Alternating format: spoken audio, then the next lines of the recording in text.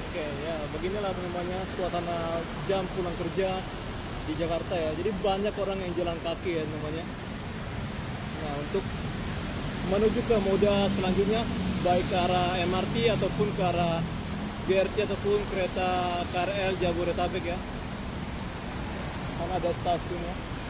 Ataupun juga bisa menuju ke LRT ya namanya. Sana LRT. LRT Jabodetabek dan sebelah sana pun ramai juga namanya.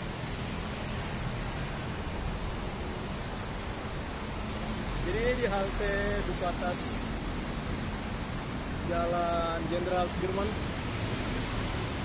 Oke depan kita adalah gedung dari Oasis Sentral Sudirman ya. Nanti ada dua tower.